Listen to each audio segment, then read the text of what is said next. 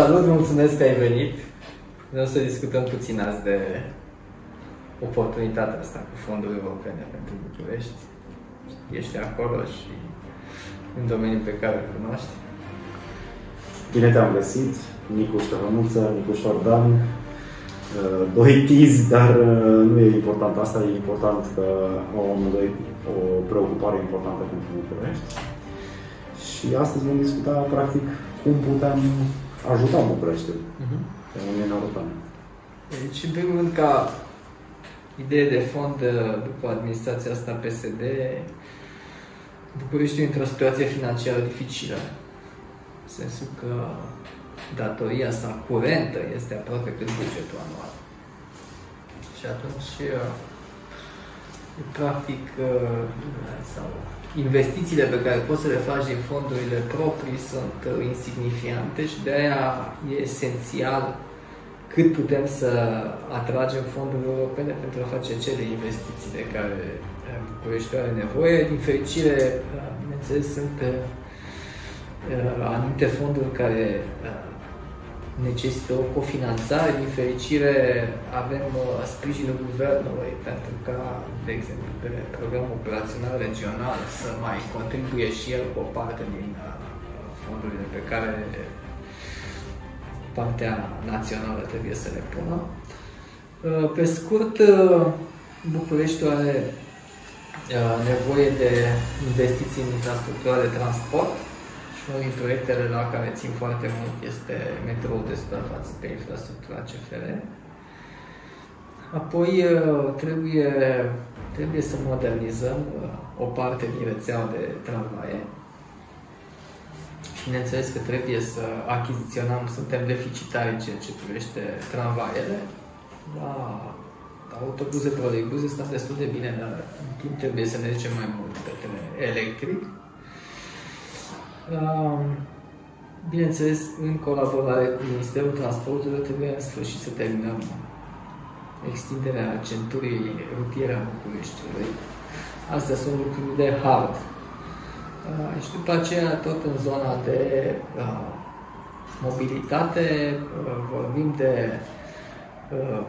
mari de parcări la intrarea în oraș, conectate cu transportul public, tot în partea de hard și după aceea cu partea de soft, uh, semaforizare inteligentă. Astea sunt uh, investiții obligatorii pe care trebuie să le facem și care pot să ducă la scăderea traficului undeva cu 30-40%, ceea ce înseamnă enorm dacă înțelegem și pentru timpul bucureștenilor, dar și pentru poluare. Ăsta ar fi un segment. După aceea, dacă vorbim de poluare, avem uh, necesitatea de a înverzi mult din spațiile care au deja destinația asta în uh, planul urbanistic general și inclusiv de acolo unde uh, sunt, e un deficit de sute de mii de copaci, de copaci plantați de aliniament sau în diverse alte locuri pe care chiar prin toaletări abuzive și să-i uh, să distrugă. Și mai avem o, o chestiune extrem de importantă care ține și de poluare și de condițiile de viață, sistemul de termoficare, care e un atu că Bucureștiul are, în sensul că are uh, o producție la marginea orașului care nu poluează, și pe care, la rândul său, Ministerul Energiei poate să facă, să o optimizeze prin investiții, dar nu vorbim de asta, că nu suntem Ministerul. Uh, ce, poate, ce trebuie să facă și obligat să facă București este să investească în rețeaua de transport a agentului termic, în special în rețeaua principală. Și m-aș opri aici pentru un moment și te las pe tine să, să-mi spui dar nu te opri, pentru că e foarte interesant ce spui și cred că bucureștenii de asta se uită la noi, vor să asculte mai mult, să te asculte mai mult pe tine și, și proiectele tale. Eu ce vreau să vă spun este că este exact momentul, exact momentul cel mai bun pentru a face astfel de, de plan de investiții, pentru că la nivelul Uniunii Europene am venit cu acest nou pachet financiar mare, s-a vorbit mult de acele 80 de miliarde, Eu aș defalca cele două și știi bine că este partea aia bugetară care vine prin programele operaționale, unde ai un rol foarte clar și unde vei aplica și vei candida numele primăriei pentru multe proiecte și este partea cealaltă de 36 de miliarde care vine prin, uh, prin acel uh, pachet de redresare care trece prin guvern. Deci aia este partea a doua, dar și aia este foarte interesantă, care trebuie cheltuită în primii ani, prin 3 ani de, de, de noua, din noua perspectivă financiară. Acum, ai menționat niște lucruri care mie îmi plac. Eu sunt, poate pentru cei care nu mă știți, un europarlamentar care lucrează pe mediu și pe buget. Deci văd ambele componente destul de bine. Pe mediu îmi place mult, este muzică pentru urechile mele, ceea ce ai spus tu, pe, pe zone verzi, pe păduri urbane, pe acoperișe verzi, pe deficitul de copaci. Pentru că uităm deseori că, dincolo de liniile astea de, de bugetare și de programele operaționale, mai sunt și banii care vin direct de la Uniunea Europeană, unde mai avem de, de o voce de spus și de unde mai putem profita. Și mă gândesc aici, de exemplu, la fondurile pentru biodiversitate și este un program lansat de Timmermans, de comisarul Timmermans, pentru plantarea 3 miliarde de copaci în Uniunea Europeană până în 2030. Eu cred că și de acolo ar trebui să mai luăm niște, niște bani. Să spunem că aici e o competiție directă cu toate statele. Da, da, da. Asta Unii sunt banii care sunt da. pentru România și alta e o competiție exact. directă cu toată lumea. Cu toată lumea. Da. Și lumea uită des de competiția directă, preocupată fiind să scrie zeci de mii de dosare pentru fondurile europene din țară.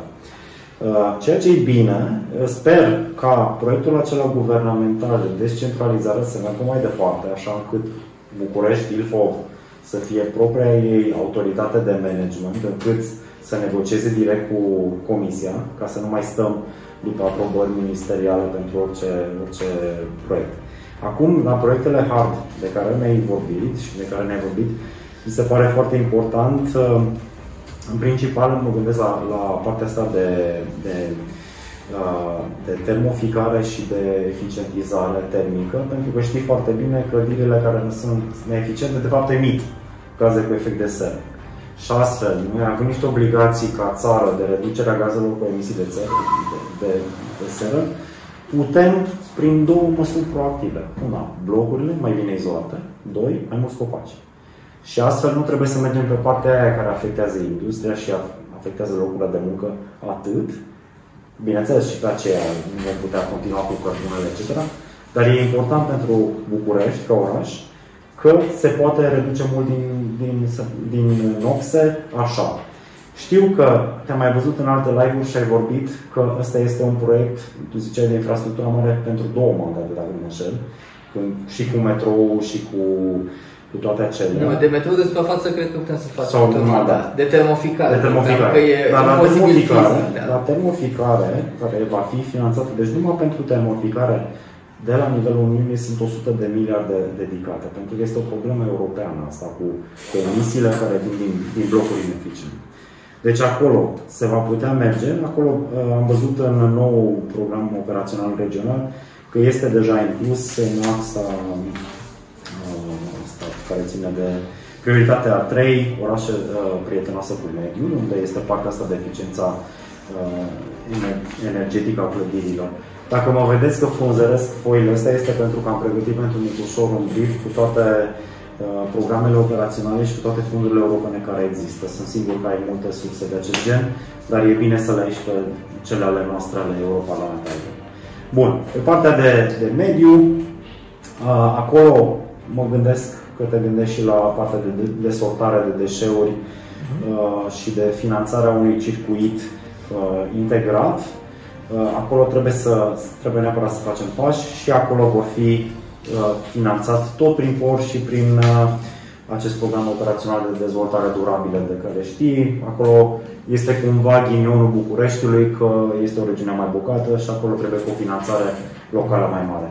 Ideea este, oameni buni, dacă ne urmăriți, este următoarea. Sunt foarte mulți bani, ăsta este un moment cheie, de aici se schimbă poate istoria României, eu așa cred, pentru că a trecut 13 ani de la aderarea noastră în Uniunea Europeană, în care nu s-a întâmplat, din păcate, atât de mult cât am fi dorit.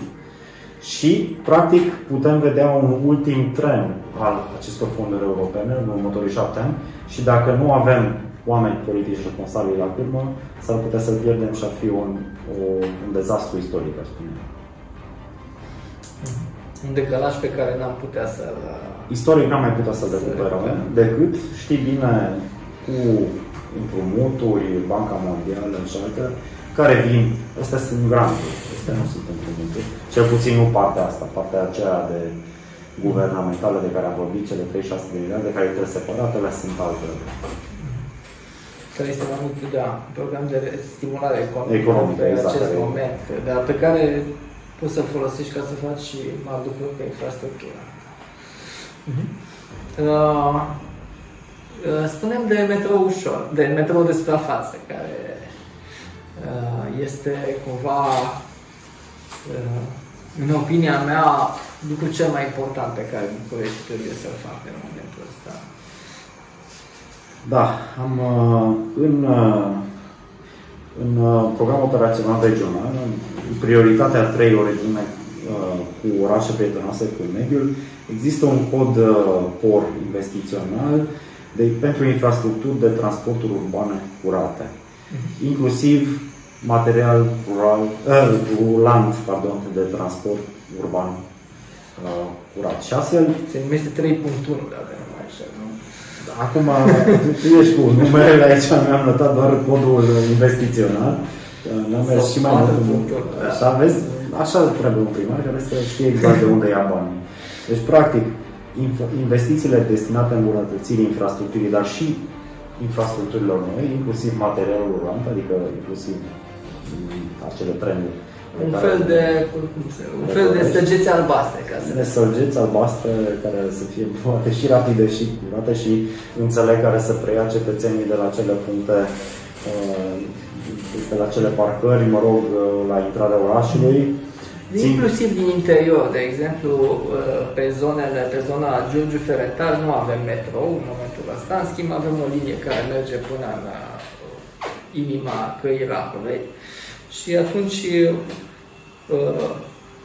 unde va fi și o, o gară și atunci toți oamenii care sunt în aceste cartiere, apelând, venind la uh, cele trei stații care sunt interioare, vor putea să meargă în Pipera cu un tren direct sau în gara exact. de nord sau uh, la Otopeni sau... Deci, practic, ei centura pentru a opoli tot, uh, tot traficul din interiorul orașului, ceea ce este un lucru foarte bun.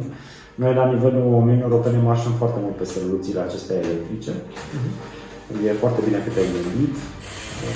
Există bani pentru asta, nu văd pe bine. Inclusiv pentru terenurile care trebuie achiziționate, etc. Există prevăzută uh, linie de finanță. Am vrea să mai întreb pe uh, infrastructura de educație și pe infrastructura de sănătate, dacă poți să spui. Da.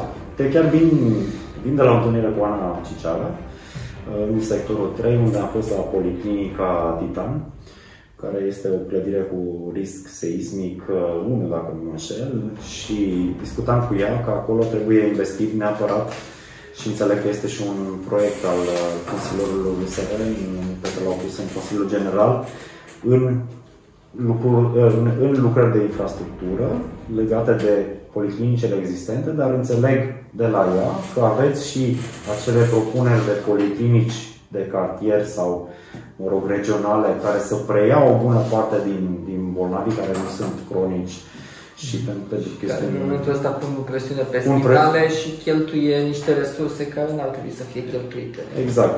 Deci pe partea de sănătate, bineînțeles, există programul operațional pentru sănătate, care este și el dotat foarte bine pentru pentru București, dar mai este ceva inovator și nou de anul acesta. Este un program care se numește EU for Health, EU pentru Sănătate, uh, care este, s-a născut în urma crizei COVID. Deci, uh, deocamdată, luptăm pentru acel proiect. Eu sunt uh, raportor pe bugetul acelui proiect. Și, și de acolo am mai putea atrage niște bani și discutam cu Ana care ar fi foarte interesant, de exemplu, pe partea de oncologie, oncologie și oncologie pediatrică, unde Bucureștiul stă prost. Deci, dincolo de acele policlinici de cartier, mai înțeleg că mai este și un proiect cu asistență medicală la domiciliu, dincolo de această capilarizare a ideii de sănătate publică, eu cred că trebuie să lucrăm și la, la centrele existente și să le, le facem mai bune, să le întărim. și pe infrastructura de educație? Pe educație, uite, mă simt un pic așa ca la școală, trebuie să știu toate lecția pe de, pe de rost. Uh, bineînțeles că și pe partea asta de educație tot prin POR, principal pentru că este vorba de finanțarea școlilor și... care se region, exact. locale, să spunem. Da, pentru finanțarea um, infrastructurii școlilor, preșcolare, grădiniță, etc.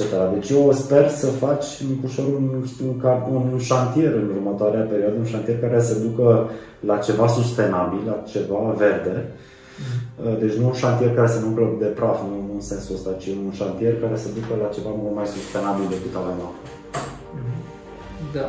Păi sunt uh, ceea ce trebuie să rezolvăm problema pe care, problemele pe care bucureștinii le ridică o problemă este de trafic. Și atunci trebuie să ne ducem cu soluțiile pe care între noi, fie vorba orașele occidentale, le-au aplicat acum 40-50 de ani. Uh, trebuie să rezolvăm problema poluării uh, și trebuie să rezolvăm uh, am omis fiecare dintre noi să menționăm digitalizarea, timpul pe care fiecare din oamenii petrece în interacțiune cu autoritatea și aici uh, știu că Uniunea are o dorință puternică de a rezolva această chestiune, de a transforma administrațiile publice în uh, locuri care se inter- cu care cetățenii să interacționeze cât mai eficient. Și apoi, uh, bineînțeles, transport poluare, digitalizarea asta înseamnă reducerea corupției din administrație și uh, termoficare, sănătate, educație sunt uh, niște chestiuni care definesc uh, standarde de calitate a vieții pe care trebuie să le obținem. Da, și e bine pe digitalizare există o axă prioritară pentru soluții din astea IT, pentru guvernanță, aplicații, e-servicii, servicii dedicate incluziunii digitale și acolo să nu uităm că foarte multă lume n-ar, poate n-ar fi în stare să folosească serviciile primăriei digitalizate imediat și atunci trebuie să și înveți un pic sau să-i familiarizezi sau chiar să dotezi, poate cu niște, no, niște tablete, nu știu, uh, mă gândesc la chestia asta. În schimb, ai... ai pe chestia asta trebuie să interconectezi, pentru că evident că o să existe, o să rămână niște registraturi, mai că și niște locuri fizice în care tu te duci, numai că tu trebuie să interconectezi și un om care locuiește într-o parte și are problemă în altă parte, se poate duce și da. funcționarul de acolo să rezolve problema electronică. Oh, ok, te gândești și la partea asta de... Da. Dar, într-adevăr, e bine că gândești așa. Eu nu cred că bucureștenii și aleg primarul pentru că își doresc doresc neapărat să îl vadă în fiecare zi sau să vadă funcționarii lui în fiecare zi, ci își doresc ca treaba să le fie rezolvată. Ok, mulțumesc! Mă bucur că am avut uh, discuția asta și sunt convins că de câte ori o să apelez uh, la tine pentru chestiuni tehnice sau foarte tehnice, o să fii deschis să mă ajuți. Bugetul nu este un lucru tehnic, bugetul este o transpunere a unor dorințe în politică publică. Deci este și un lucru afectiv. Eu țin foarte mult la buget și este un domeniu care îmi place foarte mult. Deci ușor pot să contez pe mine de la Bruxelles și bucureștenii pot să conteze pe Nicușor. Mm-hmm. Mulțumesc foarte mult!